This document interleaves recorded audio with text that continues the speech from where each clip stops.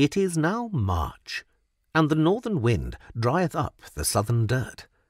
The tender lips are now masked for fear of chopping, and the fair hands must not be ungloved.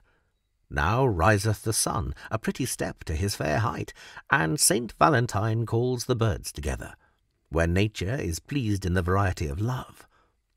The fishes and the frogs fall to their manner of generation, and the adder dies to bring forth her young. The air is sharp, but the sun is comfortable, and the day begins to lengthen. The forward gardens give the five sallets, and the nosegay of violets is a present for a lady. Now beginneth nature, as it were, to wake out of her sleep, and sends the traveller to survey the walks of the world. The sucking rabbit is good for weak stomachs, and the diet for the rheum doth many a great cure. The farrier now is the horse's physician, and the fat dog feeds the falcon in the mew. The tree begins to bud, and the grass to peep abroad, while the thrush with the blackbird make a charm in the young springs. The milkmaid with her best beloved talk away weariness to the market, and in an honest meaning, kind words do no hurt. The football now trieth the legs of strength, and merry matches continue good fellowship.